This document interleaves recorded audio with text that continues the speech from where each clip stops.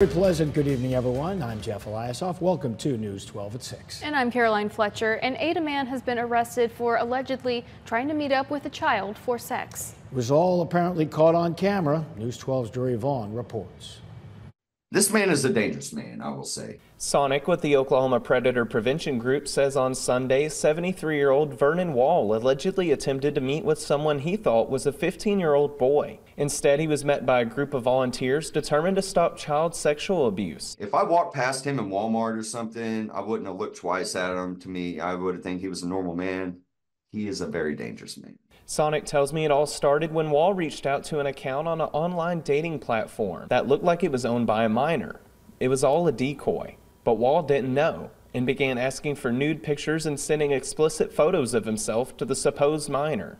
So we'll tell them to text us immediately. And once they text, we'll drop the age to them on text. And it's on them to end the conversation. A lot of times they don't.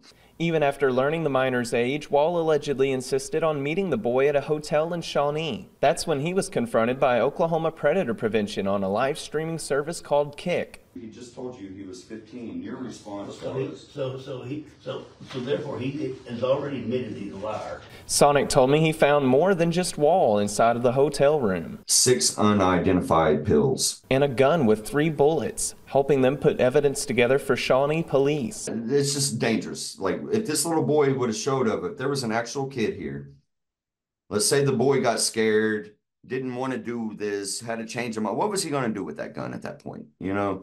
Wall was arrested and taken to the Pottawatomie County Jail and is facing three felony counts of soliciting sexual conduct from minors, as well as possession of a firearm while committing a felony.